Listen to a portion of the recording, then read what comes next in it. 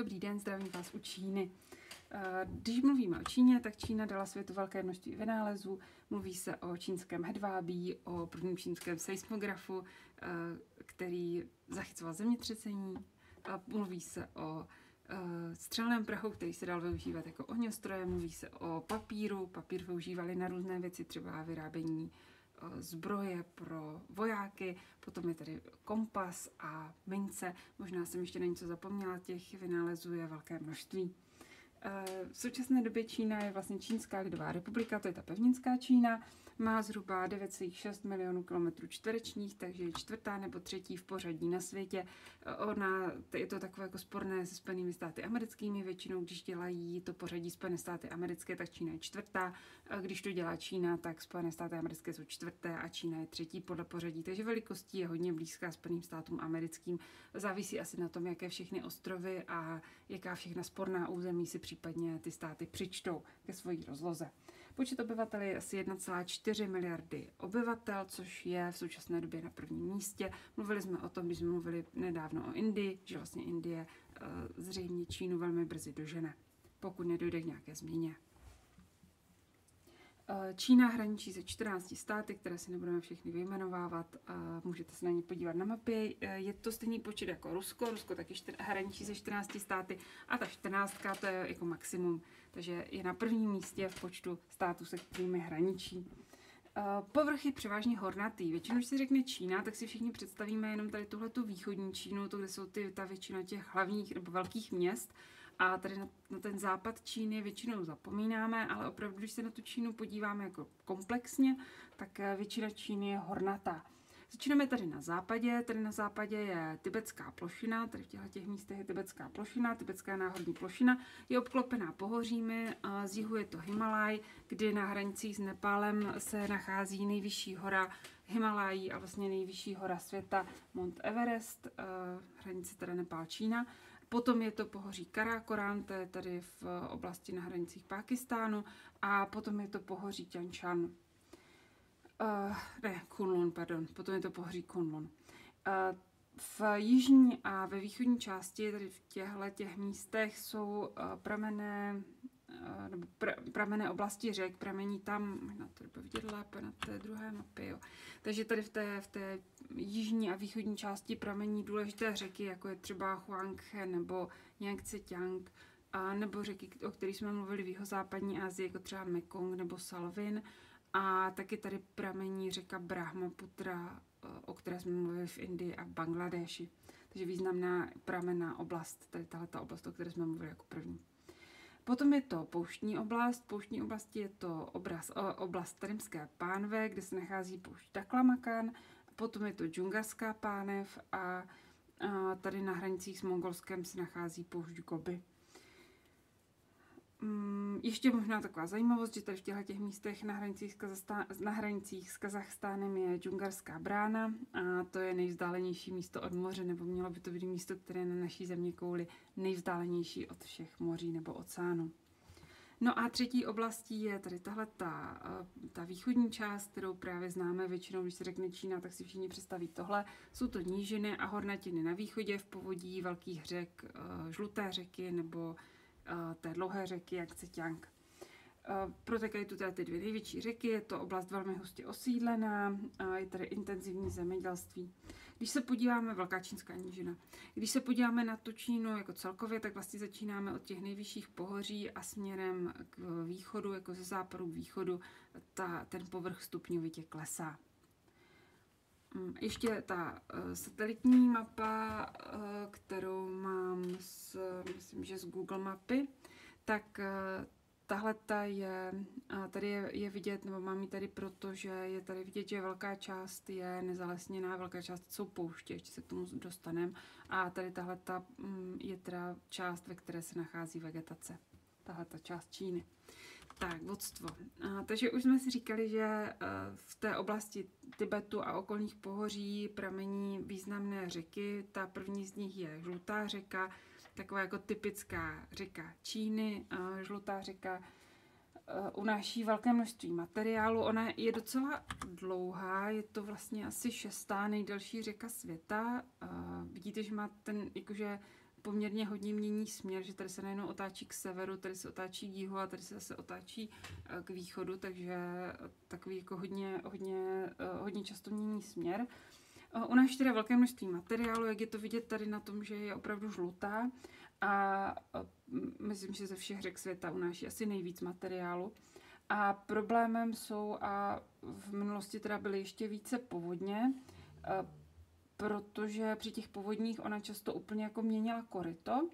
Když se podíváme na mapu, tak um, třeba v současné době ústí teda tady v tomto místě do Pochajského zálivu, nebo někdy se tomu říká Pochajské moře, která je součást uh, Žlutého moře, název toho žlutého moře, jakože asi, asi jasný, žlutá řeka, žluté moře, je to právě proto, že přináší ty splaveniny. To je ten Pochajský záliv, nebo to Pochajské moře se vlastně eh, v současné době zanáší právě množstvím těch usazenin, které sebou přináší. Ale teda v historii v současné době, době ústí tady, ale v historii ústila i několikrát jižně, tady od toho šantunského poloostrova, takže úplně, jako úplně jiný směr, než měla dnes. A je to právě proto, že prostě uh, po těch povodních hodně často měnila směr. Aby lidé zabránili tomu, aby ta řeka měnila ten směr, tak vlastně dlouhodobě podél té řeky budují hráze. A protože pořád tam budují ty hráze, ale ta řeka přináší splaveniny a tím pádem si zanáší to koryto, tak ty hráze jsou čím dál vyšší, takže ta řeka už vlastně teče několik metrů nad terénem. A není tak vodnatá jako Yangtze Tiang, protože uh, tady v téhle oblasti protéká pouští, takže v téhle oblasti ztrácí vodu, kdy protéká tou pouštní oblasti, dostává se vlastně až do oblasti pouště Gobi. Tak jsem si řekla všechno, co jsem chtěla k Huanghe, tak jdem na druhou Yangtze Tiang, to je tady, uh, Yangtze Tiang, tady tahle ta řeka. Uh, říká se taky dlouhá řeka, protéká v té jižní části Číny a je to hodně dlouhá řeka, je třetí nejdelší, třetí nejdelší řeka světa po Amazonce a Nilu. A, navíc jako celá, je to třetí nejdelší řeka světa a celá protéká územím jednoho státu. V, teď v současné době je aktuální přehrada Tři soutězky, která byla nedávno, před pár lety dostavěna. A takhle tak vypadaly ty tři, tři soutězky předtím, než se tam postavila přehrada. Nyní teda uh, tři soutězky, um, jak vypadá ta elektrárna. Je to, eh, je to vlastně největší elektrárna světa. Myslím, že je to jako nejenom, že je to největší vodní elektrárna, ale vůbec třetí největší elektrárna světa, eh, vůbec eh, největší elektrárna světa. A je taková kontroverzní, protože při její stavbě se museli vystěhovat asi 1,3 milionu obyvatel, takže si vemte, že celá Praha by se musela odstěhovat někam jinam. A navíc v souvislosti se zatopením toho území dochází tam k sesuvům půdy a k erozi. A ještě navíc je riziko, že tady prochází významný zlomový nebo nějaký seismický zlom, výrazná nějaká zlomová linie, takže tam hypoteticky hrozí zemětřesení. Tady jsem dala ještě jednu fotku a dlouhé řeky ve městě Wuhan. Wuhan je teď takový známý, tak a most ve městě Wuhan.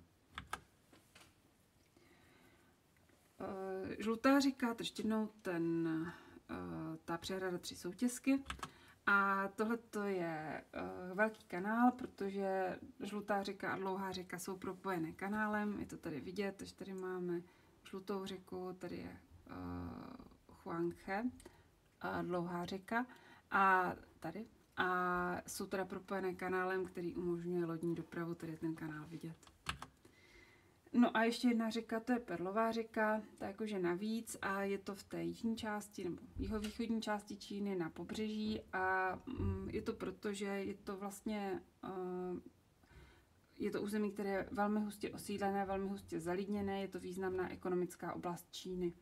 Obecně problém řek je, že řeky jsou v Číně hodně znečištěné, jsou znečištěné průmyslem, zemědělstvím, ale jsou znečištěné i odpadem v domácností, třeba právě ta přehrada tři soutězky řeší problém s tím, že tam plave velké množství domovního odpadu.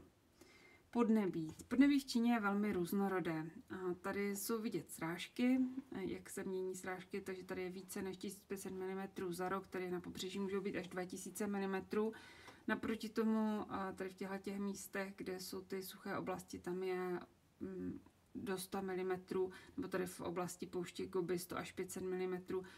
Česká republika je tady v té oblasti 500 až 1000, u nás je zhruba těch 700 eh, mm srážek, jak máte pro srovnání, takže tady tahle, ta modrá by byla nějak Česká republika a všechno tohle to je suší.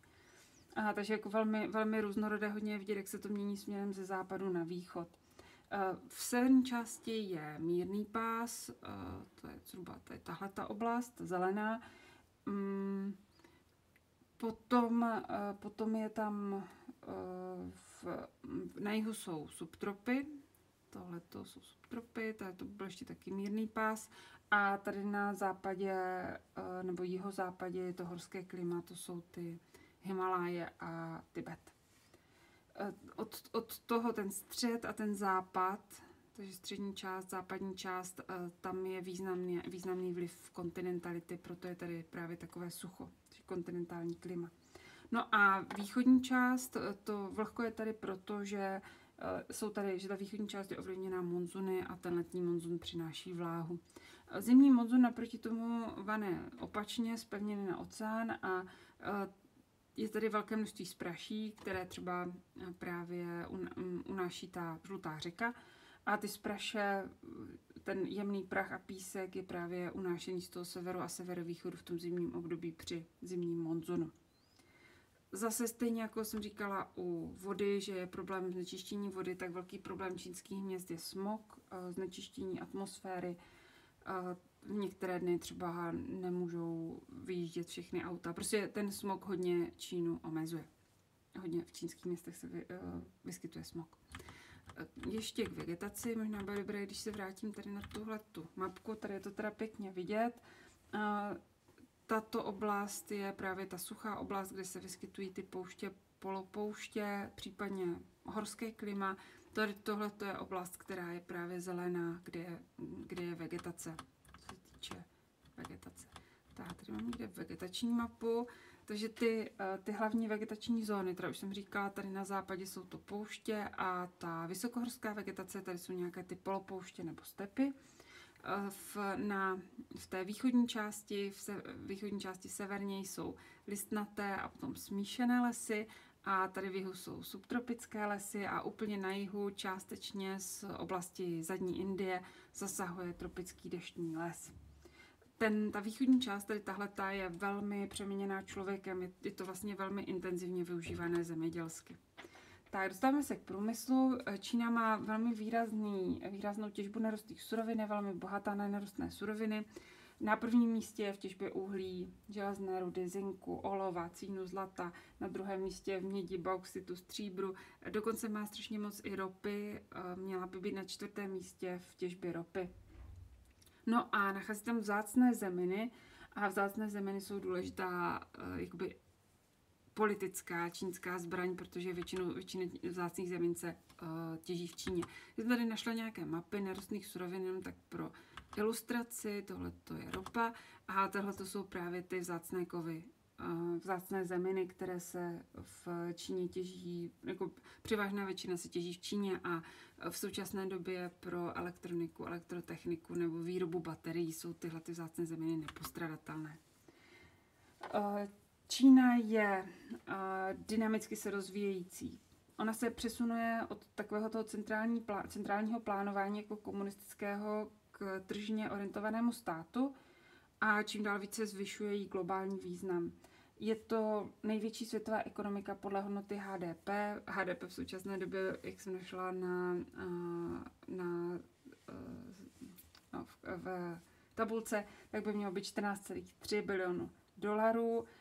Patří k nejrychleji rostoucím ekonomikám. Je to taky největší exportér v současné době. Průmyslová odvětví, všechna. Hutnictví, zbraně, textil a oděvy, to je takové jako to to, to původní hnojiva pro zemědělství, které potřebuje spotřební průmysl, tím je asi nejznámější elektronika, hračky, obuv, potravinářství, automobily taky, dopravní strojírenství vůbec, takže vlaky, lodě, letadla, hodně telekomunikace a dokonce i uh, se začíná zabývat vesmírem, takže vesmírné dopravní prostředky dostává se už do vesmíru.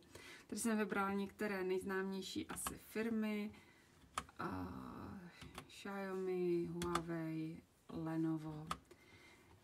Co se týče hrubého domácího produktu, tak zemědělství tvoří asi 8%, průmysl tvoří asi 40% a služby tvoří asi 52%. Se zaměstnaností je to jinak.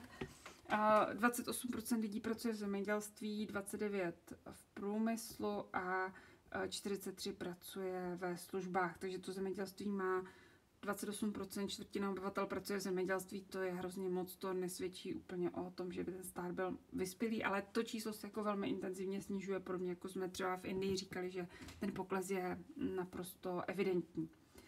Zemědělství nemá moc, e, jako na to, jak je ta země velká, tak asi jenom 45% se dá využít pro zemědělství, ale orné půdy je jenom 10%, takže velmi málo, no možná 11, a na těch 11% svého území musí uživit 1,4 miliardy obyvatel.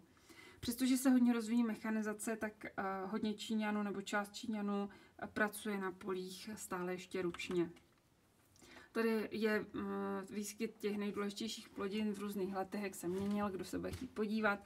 Uh, tohle to je pšenice, tady tohle to je kukuřice, Tady jsou výnosy, jo, vždycky kolik, kolik kilo na hektar se uh, získává a tohle to je rýže, takže to jsou takové ty základní plodiny. Uh, potom ještě uh, brambory, tabák, podzemnice olejná, čaj čínský, asi znáte podzemnice, to jsou buráky, uh, jablka, bavlna, bourec morušový, o tom, že Čína je zemí hedvábí, jsme už mluvili na začátku. No a hodně se pěstuje tady, jak se mění, jo, protože Čína má jako problém s tím, že jí vlastně um, ubývá odná půda, k tomu se ještě si vrátíme. A tohle to je teda živočišná výroba, takže přední produkce vepřového v chovu prasat, myslím, že byla na prvním místě, nevím, jestli ještě pořád je, drůbež, uh, ale i třeba skot nebo ovce. Um, v, podle mě genetickým inženýrstvím asi vyrobili tady tohleto, vytvořili to zvíře. Já jsem prvně přemýšlela, jestli to není apríl, ale eh, bylo to článek z listopadu, tak snad to apríl není. Eh, tohle je rybalov. Eh, v rybolovu je taky na prvním místě. Když mluvíme o Číně, tak ona je strašně často vždycky něčem na prvním místě. Nicméně je první teda v rybolovu, ale Čína je obvinována vlastně, dalo by se říct, až spustošení oceánu. Problém pro zemědělství je nedostatek vody, jsou dokonce plány na převedení vody z Yangtze Kiang do povodí Huanghe, aby se tam jako zlepšila možnost zavlažování. Riziko je eroze půdy, to je to, o čem jsem mluvila, špatným udržováním půdy dochází k erozi. A tím intenzivním zemědělstvím dochází k erozi celkově znečištění prostředí a taky tím, jak se rozrůstají čínská města, protože eh, urbanizace v Číně je obrovská takže tím, jak se rozvíjí čínská města, tak vidíte, jak eh, v Číně ubývá, to červené kde ubývá orná půda, takže v těch místech, kde je intenzivní osídlení, zvětšují, zvětšují se města snižuje se množství orné půdy. Tak, to ještě ty rybářství. No a aby to bylo úplně dlouhé, tak eh, obyvatelstvo si necháme na příště, takže pro dnešek nebo na další část. Pro dnešek nashledanou.